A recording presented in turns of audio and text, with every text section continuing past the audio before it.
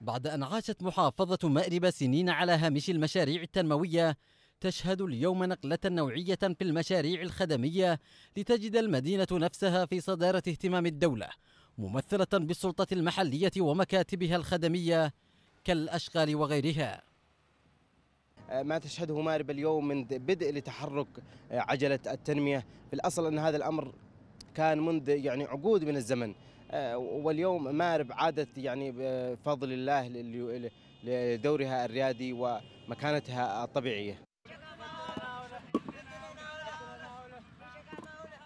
من الواضح أن المدينة تعافت سريعا من الحرب وعادت المشاهد التي تذكر باستمرارية الحياة إلى الواجهة إذ شرعت السلطة المحلية على إيجاد بنية تحتية متماسكة في جوانب عدة حيث يمثل مشروع شبكة الطرق الرئيسية والفرعية داخل المدينة وتوسعتها أحد أبرز هذه المشاريع والتي تهدف إلى تخفيف الزحام المروري بعد أن اكتظت المدينة بمئات الآلاف من النازحين بالإضافة إلى العمل على إنارة الشوارع الرئيسية وتشجيرها.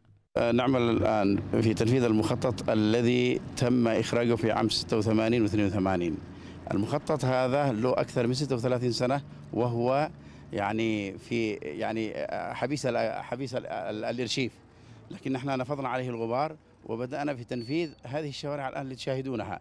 لكن عندنا خطة يعني وجهها فيها محافظ المحافظة الشيخ سلطان بن علي عرادة بتنفيذ المخطط حتى نشق شوارعه وتعرف معالمه. مشهد يبشر بمستقبل واعد في مدينة تبحث عن مناخ استثماري جاذب.